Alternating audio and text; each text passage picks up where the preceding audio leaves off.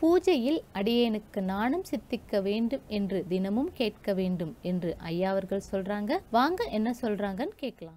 ஒவ்வொருத்தன் தண்டிக்கிறதுக்கான வந்திருக்கிறேன்.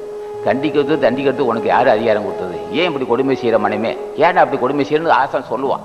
நீ இப்போ தினம் தொடர்பு இருந்தாலும் சொல்லுவான். இப்போ அகத்தீசனை வந்து தினம் பூஜை செஞ்சால் பேசும்போது ஏன் தேவையெல்லாம் பேசுகிறேன் இது சாய நியாயம் இல்லை. இதை மனசு பண்ணுறது மனசை புண்படுத்துது. நிதானிச்சு பேசு அப்படின்னு ஒருத்தன் சொல்லணும். மற்றவன் பேச்சை கேட்க மாட்டான். யார் யார் பெரும் வசதி இருக்குது உத்தியோகம் இருக்குது புகழ் வாய்ந்தவர்கள் புகழ் வாய்ந்த மட்டும் பேச்சை கேட்போன்னா யார் பேச்சை கேட்க மாட்டான்? அது வசதி வாய்ப்பு இருந்தாக்கா ஏழைகள் பேச்சை கேட்க மாட்டான். அப்போ அவனுக்கு அது சொல்ல வேண்டும். அப்போ தினம் பூஜை செஞ்சால் தான் இது தப்பப்பா இப்படியெல்லாம் பேசக்கூடாது. முறை தவறி பேசுகிறேன் ஏன் கடுகடுத்தா இருக்கு கடுகடுப்பான முகத்தை காட்டுறேன் ஏன் இப்படி இது கொ- பே ஏன் கடுமையாக பேசுகிறேன் இதனால் என்ன லாபம் உனக்கு? அப்படின்னு சொல்லணும். இப்போ அவங்களா சொல்லிக்கிட்டே இருக்கணும் ஒவ்வொரு நாளாக எந்த இதெல்லாம் நாங்கள் அனுபவத்தை சொல்கிறோம் இப்படியெல்லாம் நாங்கள் கேட்டிருக்கிறோம். நான் கோபம் எனக்கு அழகு குழந்தை கோபம் வருது. நான் என்ன என்ன பாவம் செஞ்சேன்? இந்த கோபமே என்ன புரியாத பாவம். இந்த இந்த கோபம் எனக்கு வருது. இருந்து எப்படி நான் விடுபடுவேன்? நீ தான் அருள் கேட்கணும். அதுக்கு அடுத்தது என்னப்பா இன்னும் லோபித்தனம் இருக்கே? இந்த கொடும் பாவை செயல் கொடும் பாவி இந்த லோபி. இந்த லோபித்தனை நீரவனு நீ தான் அருள் செய்யு கேட்கணும். நான் பிற சொத்தை அபகரிக்கக்கூடாது. அது வந்து வெளியே தெரியாமல் பாவி பாவியும்பான் ஆகவே நான் எனக்கு சொத்து வேண்டாம். நீ அள்ளி கொடு செல்வத்தை. நீ அள்ளி கொடுக்கணும். நான் இன்னொருத்தன் சொத்து இன்னொருத்த சொத்தை விரும்பக்கூடாது. நீ தான் அருட்சின்னு கேட்கணும். அப்போது என்ன செய்ய வேண்டும்?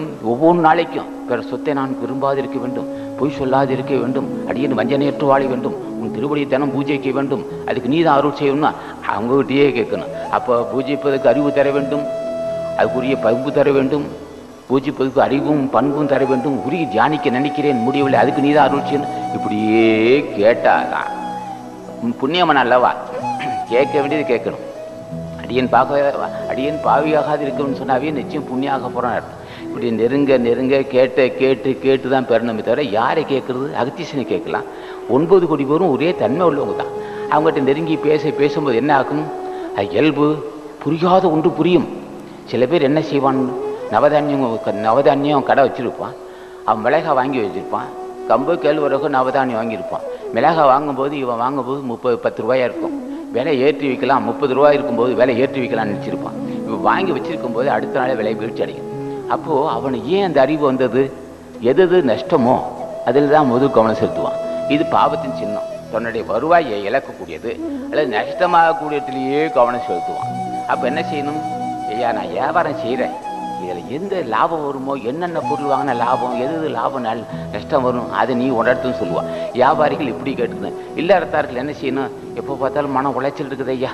இப்போ பெண்கள் என்ன செய்வார்கள்? உதிரப்போக்கு வெள்ளைப்படுதல் இருந்துச்சுன்னா அவங்க கேட்கணும். என்னப்பா எப்போ பார்த்தாலும் நோய்வாய்ப்படுவதே காரணம் என்ன?